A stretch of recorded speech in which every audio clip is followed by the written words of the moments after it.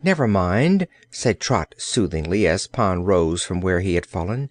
"You couldn't do much to help the poor Princess if you were inside. How unfortunate it is that you are in love with her!" "True," he answered sadly. "It is indeed my misfortune. If I did not love her it would be none of my business what the King did to his niece Gloria. But the unlucky circumstance of my loving her makes it my duty to defend her." "I don't see how you can, duty or no duty," observed Trot. "No; I am powerless, for they are stronger than I. But we might peek in through the window and see what they are doing." Trot was somewhat curious, too, so they crept up to one of the windows and looked in.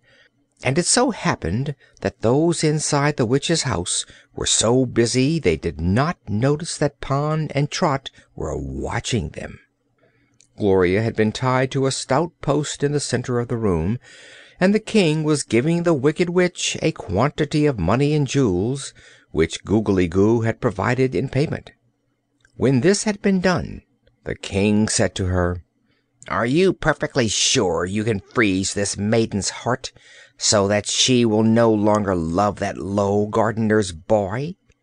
"Sure as witchcraft, Your Majesty," the creature replied. "Then get to work," said the King. "There may be some unpleasant features about the ceremony that would annoy me, so I'll bid you good day and leave you to carry out our contract. One word, however: if you fail, I shall burn you at the stake." Then he beckoned to his soldiers to follow him and, throwing wide the door of the house, walked out.